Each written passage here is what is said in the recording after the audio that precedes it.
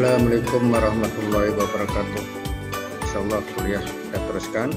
Kali ini susu bagian ketiga yaitu tentang indikator mutu, mutu susu dan singkat cara ujinya. Nah, beberapa komponen yang ada di dalam susu kemarin sudah kita bahas pada kuliah yang kedua ya yaitu di antara komponen-komponen susu kemarin kita bahas terutama itu komponen kimia nutrisi. Nah, kali ini akan kita bahas adalah komponen-komponen yang ada hubungannya dengan indikator nanti di dalam pengujian mutu susu. Yang pertama adalah tentang adanya enzim. Sebetulnya di susu ada enzim. Baik enzim itu ada exoenzim, artinya enzim yang berasal dari luar yaitu karena pertumbuhan terutama bakteri yang akan menghasilkan beberapa enzim misalnya enzim lipase maupun protease. Dan juga ada endoenzim artinya enzim yang memang ada pada susu. Misalnya ada lipoprotein lipase ada plasmin ada alkalin fosfatase. Nah, beberapa enzim ini akan kita gunakan terutama nanti sangat bermanfaat dalam identifikasi mutu susu. Yang pertama misalnya di sini ada enzim peroksidase. Enzim peroksidase ini biasanya adalah rusak pada suhu 75 derajat Celcius selama dua setengah menit atau 85 derajat Celcius selama 1 sampai 2 detik. Nah, ini biasanya kita gunakan sebagai indikator dari kecukupan pasteurisasi kalau kalau kita uji masih ada enzimnya maka berarti belum dipasteurisasi tapi kalau sudah tidak ada enzim atau dalam artian enzimnya sudah inaktif maka berarti sudah dipasteurisasi begitu juga alkalin fosfatase. Pada suhu 62 derajat Celcius 30 menit atau 72 derajat Celcius 15 detik ini juga sudah uh, inaktif. Nah ini juga kita gunakan uh, indikator uh, pasteurisasi. Hanya bedanya kalau yang di atas ini adalah pasteurisasi pada suhu tinggi,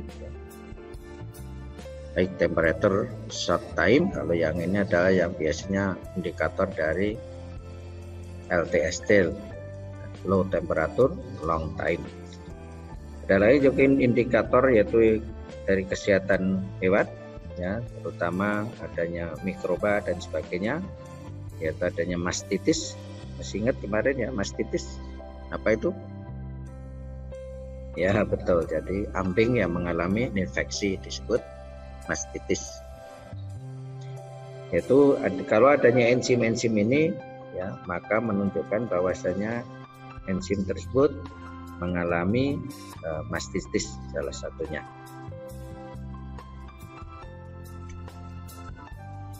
Yang berikutnya indikator lain yaitu kandungan yang ada pada susu.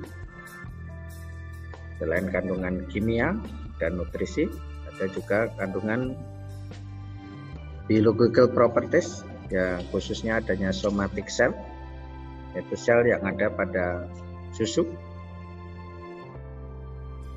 Dengan adanya sel ini ya susu sebagai indikator kesehatan dari uh, kambing hewan. Sebetulnya dalam susu ada sel epitelnya yaitu ketika pemeran dan sebagainya yang ada yang sel yang terikut itu sebagian besar 60 sampai 70 persen dan juga ada leukosit ya 30 sampai 40 persen. Nah susu yang sehat biasanya kandungan selnya adalah antara 200 ribu ya. yang sehat sekali kira cuma 20 ribu. Sebagai indikator dari mastitis yaitu kandungan selnya kalau lebih dari 500 ribu. Apalagi kalau ada indikator lain bahwasanya ada sel-sel yang berasal dari darah. Artinya sel darah yang masuk ke dalam susu Misalnya ada granulokosit, limfosit, monosit, dan sebagainya. Jadi untuk menunjukkan tes mastitis ada beberapa indikator. Berikutnya ada kandungan mikrobiologi. Kandungan mikrobiologi ini sekali lagi susu itu kalau tidak terinfeksi dari luar, ya, tidak terkontaminasi maksudnya ya, dari luar melalui puting susu terutama, maka susu itu seharusnya adalah steril, holisot, ya, steril. Namun kadang-kadang sampai dengan 1000 eh, per mililiter masih ditolerir pada susu yang segar. Nanti pada mutu susu jauh lebih tinggi lagi. Di SNI misalnya disebutkan 10 pangkat 6 per mililiter. Nah, mikroba-mikroba ini terutama yaitu ada mikroba hmm, skotropik mikroorganisme. Terutama ini biasanya berasal dari uh,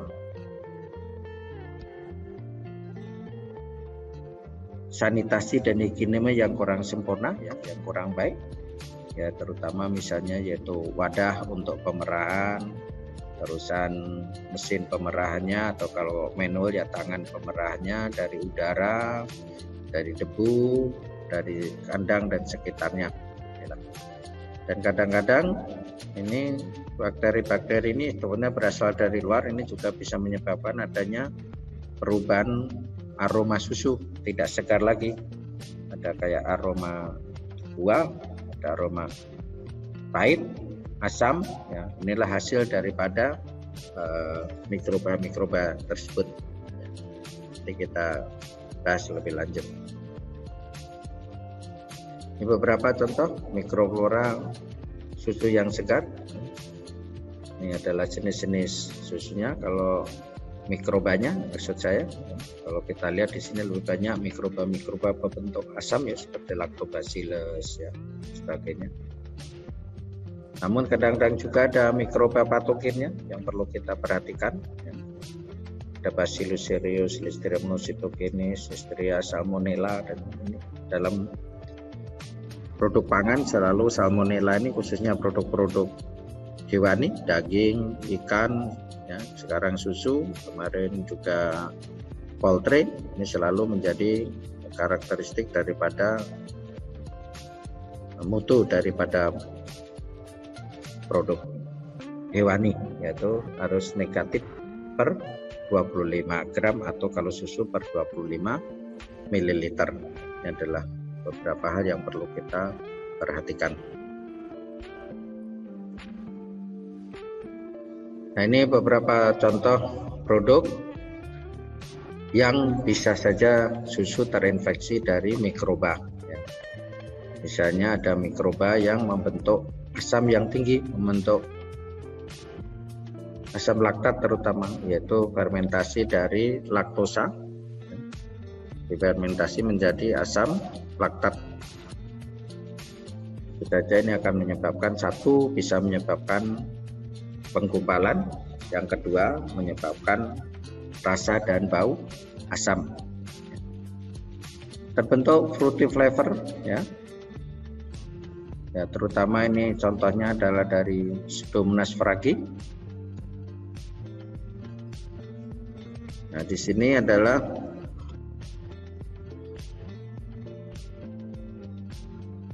salah satu jenis mikroba yang menghasilkan flavor kayak buah-buahan bisa menghasilkan rasa pahit. Ya. Ini adalah scrotropik bakteria juga. Ya. Terus ada rasa-rasa uh, kayak penyimpangan-penyimpangan lainnya.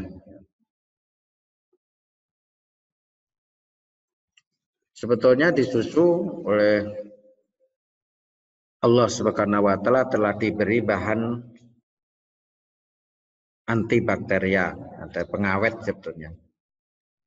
Seperti lizusim, ya ini sebetulnya uh, sebagai pengawet juga. Laktoferin ini juga sebagai pengawet bisa menghambat pertumbuhan mikroba. Laktoperoksidase ya ini ada yang yang dihasilkan ya, enzim nitrogen dalam susu ya yaitu terutama terhadap mikroba-mikroba gram negatif ya, seperti salmonella ya. Tetapi karena susu itu kandungan airnya khususnya AW-nya tinggi ya, lebih dari 0,9 nutriennya juga sangat komplit, sempurna dan baik untuk pertumbuhan mikroba ya. Sehingga adanya antimikroba-mikroba ini tidak cukup untuk bisa mengawetkan susu. Maka nanti akan dilakukan proses-proses pengawetan susu yaitu proses pengolahan susu. Mutu susu. Coba kita kenal sekarang masuk ke mutu susu. Jadi biasanya kalau di industri kalau menerima susu, misalnya truk datang, itu biasanya langsung dianalisa untuk menghasilkan keputusan apakah susunya diterima atau tidak. Dan nanti kadang-kadang ada hubungannya dengan harga, terutama harga susu biasa dihubungkan dengan jumlah mikroba. Semakin tinggi mikroba, sampai batas tertentu, maka harganya semakin rendah. Sebaliknya, berbanding lurus dengan kadar lemak. Semakin tinggi lemaknya, maka harganya semakin tinggi. jadi dalam penerimaan susu, nah biasanya sudah ada langsung beberapa tes ya. Intinya adalah agar memenuhi standar dan juga regulasi yang ditetapkan. Baik ditetapkan itu oleh artinya oleh pemerintah, oleh badan tertentu ataupun ditetapkan sendiri oleh perusahaan. Karena perusahaan boleh juga menetapkan yang penting tidak melebihi dari atau tidak mengurangi mutu dari yang ditetapkan oleh standar-standar tertentu khususnya oleh pemerintah seperti di Indonesia oleh Badan POM misalnya atau adanya SNI misalnya. Nah tes-tes itu bisa berupa tes kimia, fisika, organoleptik, dan juga tes-tes mikrobiologi. Kita lihat satu persatu. Nah ini mutu susu kita anu dengan SNI dulu ya. Nanti silakan kalau mau searching mutu di Eropa seperti apa, di New Zealand seperti apa, di Amerika seperti apa. Tapi kita basisnya SNI, nomor SNI-nya. Antara lain persyaratan susu menurut SNI satu ada persyaratan berat jenis. Kalau diukur pada suhu 27,5 derajat Celcius minimum, ada kata-kata ini minimum, ini sangat penting. Yaitu minimum 1,027 gram per mililiter. Kenapa minimum? Nanti ini kita ada hubungannya dengan uh, penipuan atau adulteration bahwasanya kalau harganya tergantung kadar-kadar lemak nah kadang-kadang ditambahkan lemak dari luar nah, kalau ditambahkan lemak dari luar maka berat jenisnya akan naik apa turun kalau ditambahkan lemak dari luar ya betul akan turun ya akan turun yang kedua kadar kimianya kadar lemak Kadar lemak ini juga minimum perlu diperhatikannya. 3 persen. Kadar bahan kering tanpa lemak. Nah, kemarin sudah kita bahas. Kalau bahasa Inggrisnya apa? Iya betul. Solid non fat. Ya. SNF solid non fat.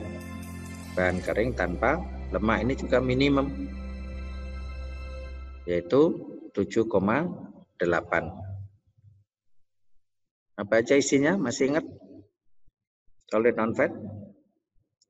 Wah, hebat. Ya, betul. Ada gula, ada protein, ya. ada mineral, dan sebagainya. Kadar protein, nah ini juga minimum. ya. Ini kata-kata ini penting ya. Ada minimum, minimum, minimum. Ya. Yaitu 2,8 persen. Kemarin rata-rata berapa kadar protein lemak uh, susu? Maaf. Ya betul, yaitu biar gampang ingatnya empat. Warna, bau, rasa, kekentalan tidak ada perubahan, artinya normal. Ya. Derajat asam disebut SH, penemunya yaitu Chocolate, Chocolate Henkel, ya. yaitu penemu metode ini. Derajat asamnya adalah 6,0 sampai 7,5. pH 6,3 sampai 6,8 uji alkohol nanti kita perjelas ya. Uji alkohol harus negatif. Ya. Ini menandakan kesegaran susu. Ya, nanti kita bahas lebih lanjut. Dan cemaran-cemaran mikroba. Kita lihat ke bawah. Cemaran mikroba, ini kalau ini ada kata-katanya maksimum. Nah, penting ya.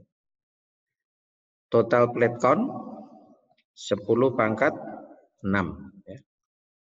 Dan ini hampir pada daging semuanya sama. Pada hewani maksud saya ya.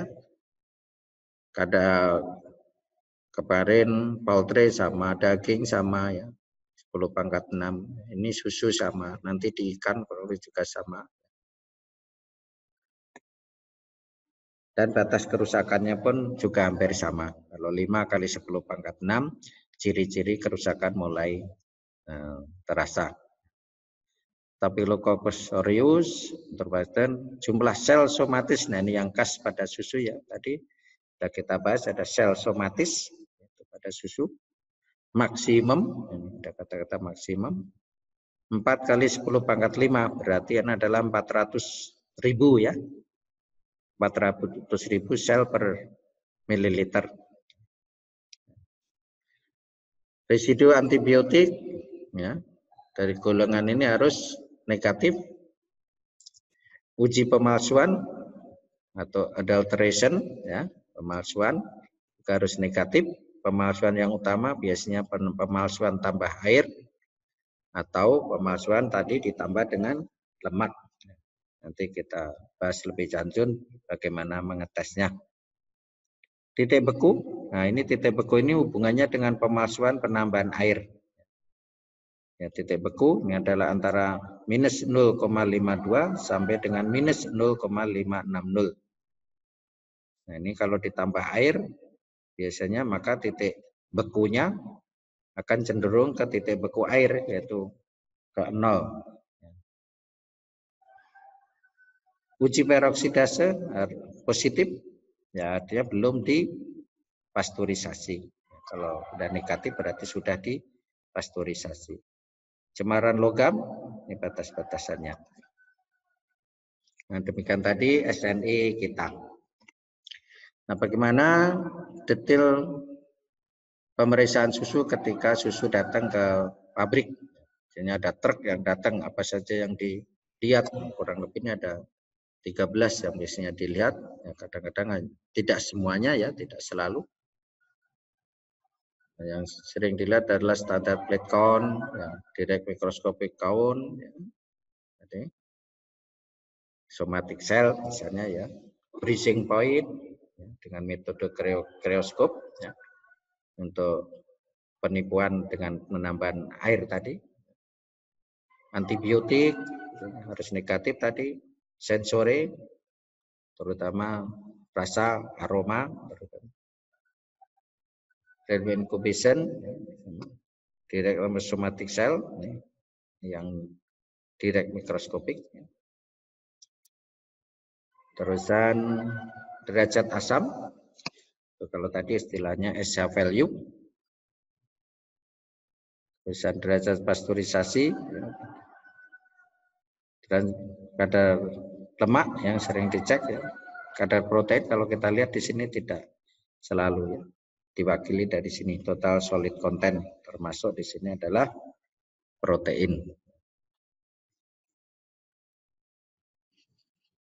Nah, pertama kita coba lihat apa yang dilihat yaitu pertama organoleptic test. Ya. organoleptides ini sangat penting untuk memutuskan secara cepat ya karena supaya susunya bisa segera diputuskan diterima atau tidak. Keuntungannya ini tidak perlu alat khusus ya. Hanya di sini dibutuhkan orang yang terlatih ya. Orang yang terlatih yaitu yang biasa kalau dilatih bisa karena biasa kalau bahasa Jermannya Ubung Meister, yaitu bahwasanya dengan latihan menjadikan orang itu sebagai Meister. Terutama yaitu beberapa contoh ya, kecerahannya, warnanya, baunya, rasanya, dan sebagainya. Ini adalah sebagai tes awal ya. Oleh sebab itu biasanya kalau belum bisa diputuskan nanti dites lebih detail lagi kalau ada keraguan. Ya. Biasanya kalau testernya ini memutuskan oke okay, biasanya juga sudah bisa sambil menunggu beberapa tes yang uh, berlanjut. Nah, kalau sekarang sih perusahaan biasanya mempunyai alat yang canggih-canggih yang dalam waktu dua menit, tiga menit parameter-parameter mutu yang diperlukan sudah bisa diukur. Beberapa yang tidak normal tadi yang berasal dari mikroba ataupun berasal dari serapan-serapan dari luar ini bisa muncul ya terutama dari Eh, bakteri-bakteri yang tumbuh, ya. baik itu secara uh, berasal dari lingkungannya, yaitu dari kandang dan sebagainya, ya, dan juga dari uh, pertumbuhan mikroba atau kontaminasi atau terbentuknya asam misalnya. Beberapa kerusakan yang biasa nanti terjadi pada susu ya. Ini adalah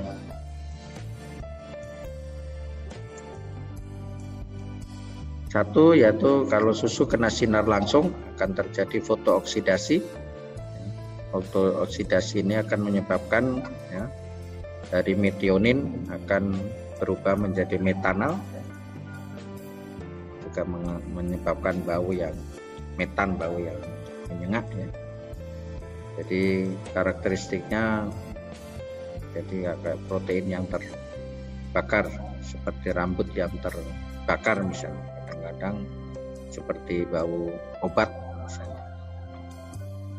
Jadi susu tidak boleh ditangani dalam keadaan terkena sinar matahari langsung sama dengan produk hewani lainnya. Kemarin ada 4C. Apa saja masih ingat 4C? Ya, ada close, clean, ya, cool, and care. Wah hebat. pada ingat. Ya. Perusahaan pemasakan ya. dengan pemasakan ini menyebabkan W protein kemarin masih ingat yaitu sensitif terhadap panas ya maka akan mengalami penggumpalan dan penggumpalan ini menyebabkan hmm, ikatan-ikatan sulfida ya, dari sulfid grup dari asam aminonya di, bisa mengalami kerusakan sehingga menyebabkan uh, bau hangus ya dan juga dengan adanya laktosa bisa mengalami proses uh, karamelisasi ataupun proses uh, mailat hingga bau hangus dan juga bau uh, warna yang berubah. Jadi ini karakter-karakternya bau masak atau kadang-kadang seperti bau mirip seperti bau kacang atau bau karamel.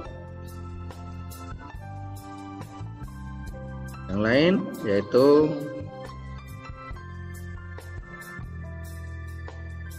karena pertumbuhan daripada mikroba khususnya ya, terbentuk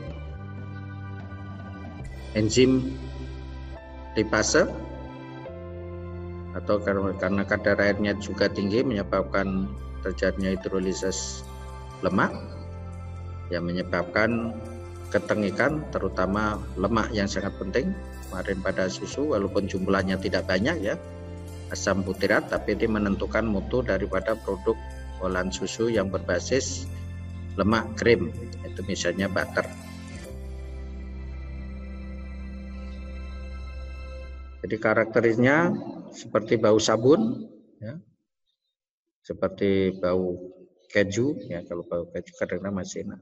pahit, ya. Terus beberapa uh,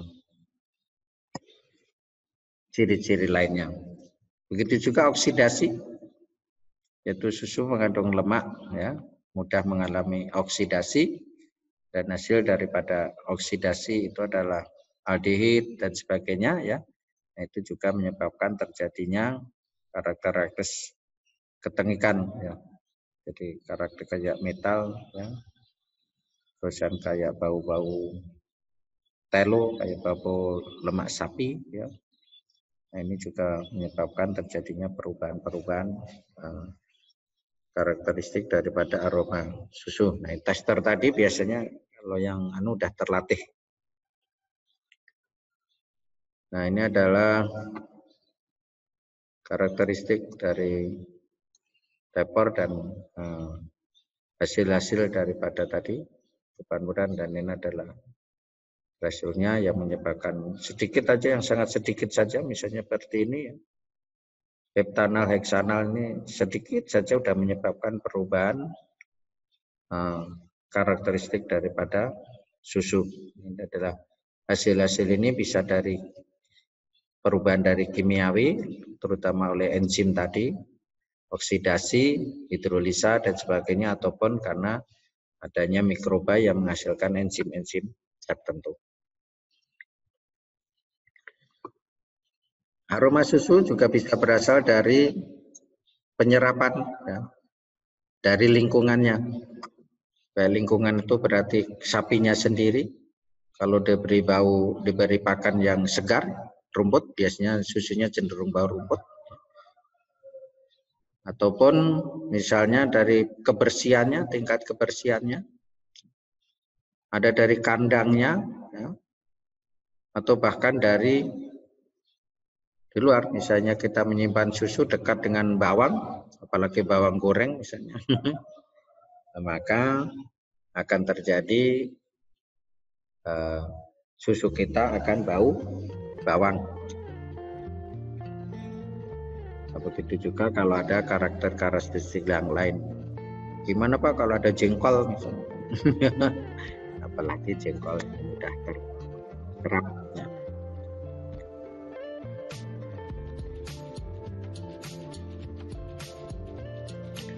Nah, beberapa uji yang lain. Tadi udah uji organoleptik, nah sekarang uji tes bisa fisik, sekarang lebih ke arah tes fisik ya. Yang pertama biasanya dilakukan uji boiling test. Ya. Nah, prinsipnya biasanya kalau susu mengalami kontaminasi oleh bakteri pembentuk asam, lactobacillus misalnya, nah itu pH-nya akan turun dan pH-nya turun itu akan menyebabkan susu mudah mengalami koagulasi. Ini dengan dipanaskan susu juga akan mudah mengalami koagulasi jadi lebih di-trigger dengan adanya pemanasan. Susu dipanaskan 100 derajat Celcius 2 menit sudah menggumpal, nah biasanya uh, susu tersebut SL value-nya sudah tinggi. Ini biasanya sudah bahkan aroma asamnya pun sudah muncul kalau SL value-nya di atas 10.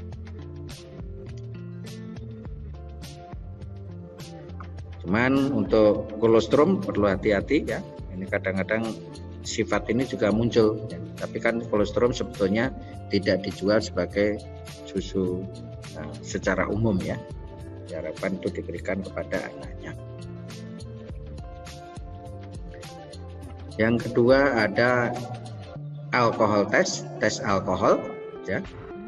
Kemarin masih ingat ya bahwasanya susu itu adalah ya, dalam bentuk emulsi dan di sana ada kaseinnya berupa komponen yang cukup kompleks ada alfa kasein, beta kasein, ya, kappa kasein. Ya. Nah, susu kalau sudah LH value-nya juga sudah tinggi, artinya pH-nya berarti sudah turun. Ya. Dengan alkohol 70% ditetesi alkohol, biasanya 2 ml susu ditetesi alkohol 70%. Nah, kalau terbentuk gumpalan maka berarti ini sudah positif. Nah, berarti susunya sudah tidak segar. Tapi kalau ditetesi alkohol 70% tidak terjadi gumpalan, nah berarti ini susunya masih segar.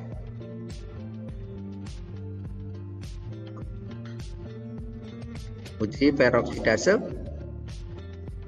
peroksidase ini bisa berasal terutama dari luar dihasilkan oleh uh, mikroba ataupun dari dalam sendiri. Ciri khas daripada peroksidase, peroksidase ini mana? itu sensitif yaitu di atas 80 derajat Celcius. Dengan adanya ditambahkan H2O2 ya, di mana ditambah H2O2 maka akan terjadi nanti akan kalau yang positif itu akan terbentuk oksigen. Nah, oksigen itu berarti berupa gelembung gelembung ya. Dan ini nanti akan terjadi reaksi yang positif. Nah, berarti kadarnya masih tinggi, maka menunjukkan belum terjadinya pemanasan yang melebihi dari kalau masih positif berarti belum melebihi 80 derajat Celcius jadi indikator dari UKT misalnya. Ada uji fosfatase test enzim fosfatase, enzim yang biasa ada pada susu. Enzim pada susu ini ya, biasanya kalau masih ada positif Nah, dia akan menyebabkan pada inkubasi ya, pada baper fosfat ini akan terbentuk perubahan warna dari yang seharusnya putih menjadi warna lebih ke arah kuning. Nah, kalau positif, nah, enzim fosfatase enzim masih positif, nah, maka berarti di sini nah, belum mengalami pasteurisasi. Khususnya pasteurisasi pada suhu yang rendah LT. LT. Tapi kalau ternyata sudah positif, ya, maka berarti sudah tidak ada, eh, masih ada. Kalau ada negatif berarti sudah tidak ada, berarti menandakan sudah mengalami pasteurisasi. Berikutnya uji kimia biasanya dilakukan dengan uji kadar lemak. Nah, kalau awal-awal dulu, istilahnya ada kita uji dengan metode Babcock. Ya. Prinsipnya susu itu kita seperti didestruksi dulu, kita rusak dulu protein yang stabilkannya, yaitu dengan H2SO4, nah, sehingga lemaknya yang ada pada emulsi itu akan eh, dilepaskan. Ya. Dan nanti setelah itu dimasukkan ke tabung ini kita sentrifugasi maka berapa kadar lemaknya akan bisa kita lihat. Tapi sekali lagi sekarang sudah banyak hmm, metode-metode cepat yaitu dengan infrared dan sebagainya.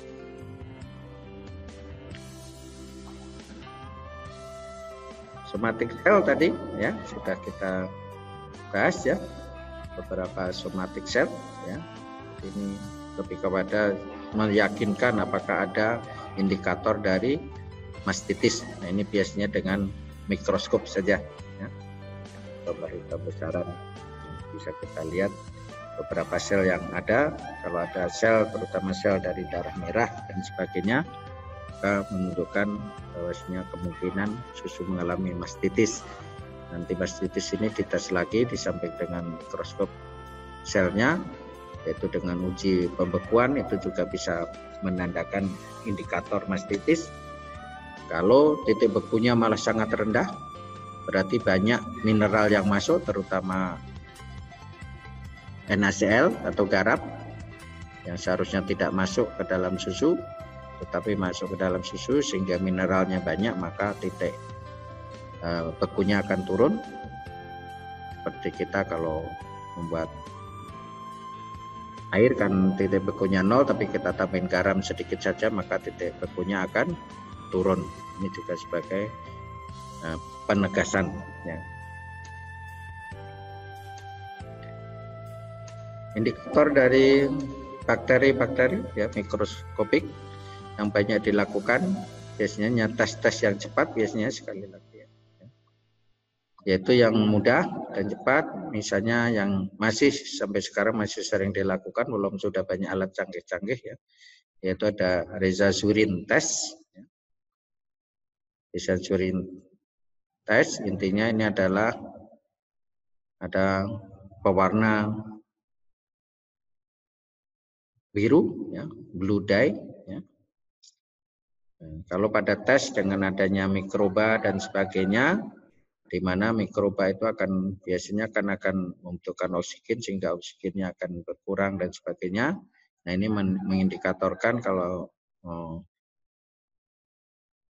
oksigennya berkurang maka terjadi reduksi. Nah, dengan adanya reduksi akan menghasilkan oh, warna yang tidak berwarna. Ya. Jadi indikatornya di sini, kalau dari biru tadi, blue, hasilnya biru, ya, maka berarti di sini produk tersebut masih sangat baik.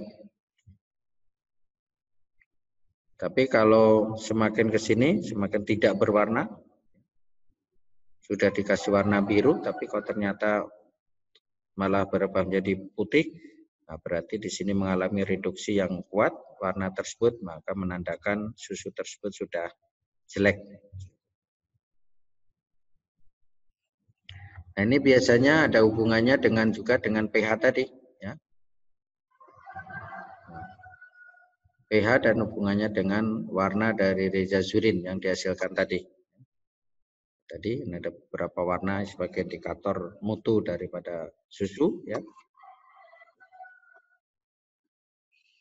yaitu pH susu normal pH-nya seharusnya sekian ya karena sekian ya. Kalau sedikit asam ya, warnanya berubah menjadi agak kekuningan. Asam turun lagi atau lebih rendah kuning. Tapi kalau sangat tinggi indikator apa mastitis ini biasanya ya. Karena kalau alkalinya sangat tinggi berarti banyak mineral yang masuk ke susu lilak ini biasanya juga sebagai indikator dari uh, mastitis. Berikutnya yang sering juga digunakan ada yang disebut dengan MBRT test, methylene blue reduction time test. Ini mirip-mirip dengan yang tadi, yaitu susu dilakukan um, ditambah zat pewarna, setelah itu diinkubasi. Nah, cuman di sini adalah waktu berapa lama terjadi perubahan warna. Yaitu dari biru mestinya menjadi warna tidak berwarna. Karena adanya reduksi juga ya. Jadi tidak berwarna dari biru menjadi tidak berwarna disusul diinkubasi metilen blue menjadi biru tapi kalau diinkubasi tidak berwarna berarti menunjukkan adanya aktivitas reduktase yang tinggi menandakan adanya pertumbuhan mikroba yang tinggi. Nah, ini adalah kalau semakin cepat perubahan tersebut kurang dari setengah jam sudah berubah, nah ini berarti mutunya sangat jelek. Tapi kalau lebih dari lima jam tidak ada perubahan, maka susu tersebut masih sangat baik.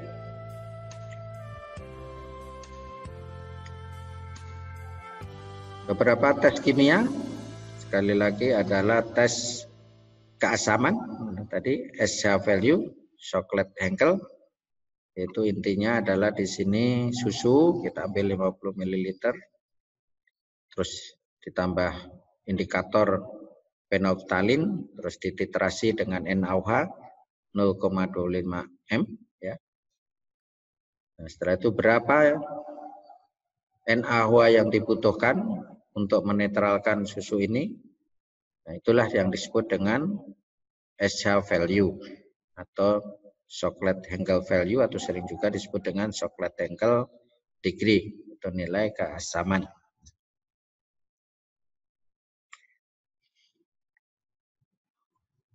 Nah, biasanya hasil titrasi itu, nah itulah menunjukkan berapa soklat ya.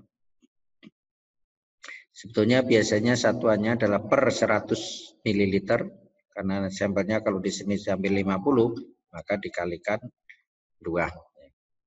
Kali lagi susu yang segar SL value-nya sekitar 6,5 sampai 7,5. Kalau sudah ke asam ya, sudah strong asam 10 sampai 12 ya. Kalau sudah di atas 20 biasanya sudah menyebabkan penggumpalan susunya sudah menggumpal karena terbentuknya asam. Artinya pH-nya juga sudah dekat-dekat ke arah isoelektrik. Sekarang dua uji yang sangat penting yang biasanya dilakukan di perusahaan yaitu uji penipuan atau pencurangan ya, adulteration. Adult ini dari orang tua. Ya. Jadi ini hanya orang tua yang berpikir bisa uh, menipu gitu. Kalau anak muda itu orang anak bayi itu anak kecil itu jujur-jujur. Nah, saking jujurnya kalau dia berbohong, nah itu biasanya ditutupin seluruh mukanya. Tapi semakin dewasa, nah, sudah sering bohong, nanti lama-lama yang ditutupin kalau berbohong hanya mulutnya. Kalau udah sering berbohong lagi kadang-kadang cuman nah, bahkan kalau udah sering bohong nggak pakai ditutupin. udah nggak punya malu lagi artinya ya. Bahkan kalau kita ingat dulu adik kita atau kita sendiri kalau waktu kecil ditanya ibu atau bapak kita berbohong, kita ngumput, nyumput seluruh badan kita umpetin malu. Ya. Karena kita berbohong, tapi lama-lama udah biasa bohong akhirnya yang ditutupi semakin hilang ya. itulah maka ada kata-kata adulteration jadi hanya orang tua yang bisa berpikiran seperti itu kalau anak-anak sih tidak ada pikiran curang mencurangi itu ya. pertama ini adalah indikator penambahan air ya yaitu sekali lagi luar biasa Allah menciptakan susu itu mempunyai karakteristik yaitu titik bekunya itu sangat spesifik. Ya.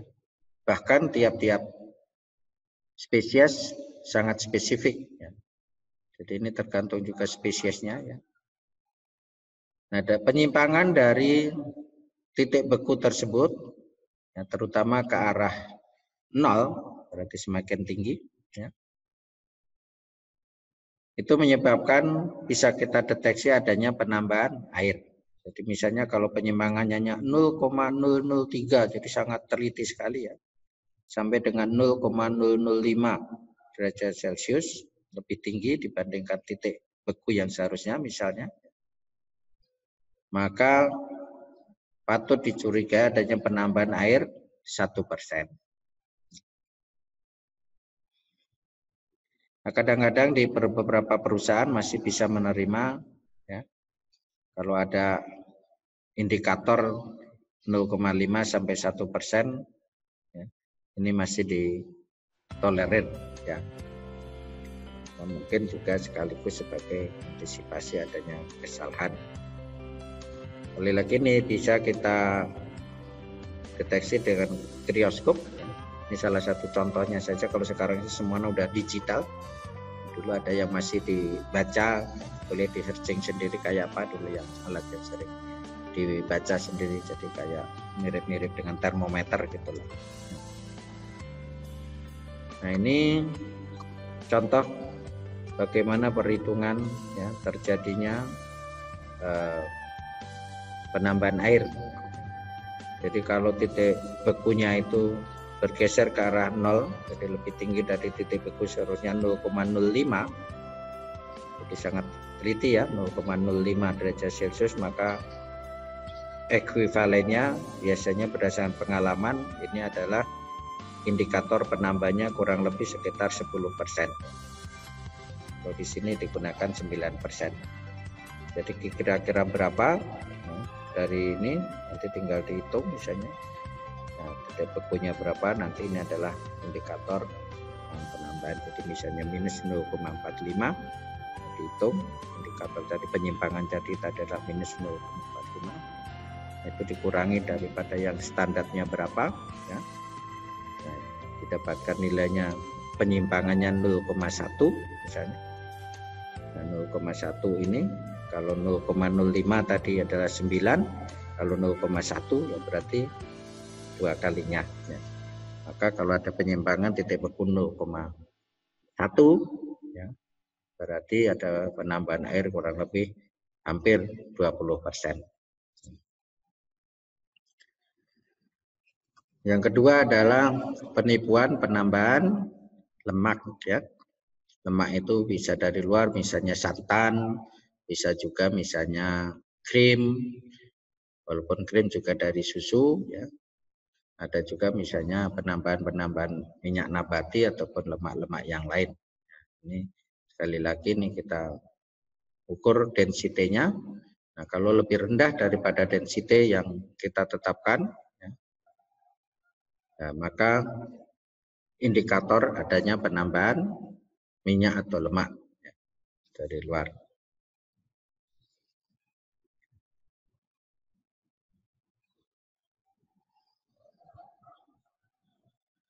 Nah, sekarang tentu saja sekali lagi banyak dikembangkan sudah beberapa rapid test ya. Beberapa ini adalah terutama untuk uji-uji seperti ini peroksidase penambahan adanya eh, pati tambah air ya. kebersihan deterjen yang kurang bersih adanya formalin sebagai pengawet dari luar ya Nah ini bisa dites dengan beberapa tes.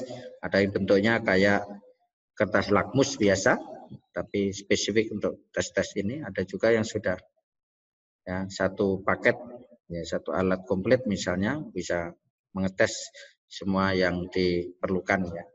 Termasuk bahkan kadang-kadang sekarang saya lihat pernah ke satu industri di New Zealand itu adalah dia total mikrobatum dan langsung dalam waktu dua menit ya, sudah bisa diprediksi berapa total mikrobanya. Jadi tidak harus nunggu inkubasi dua hari atau tiga hari.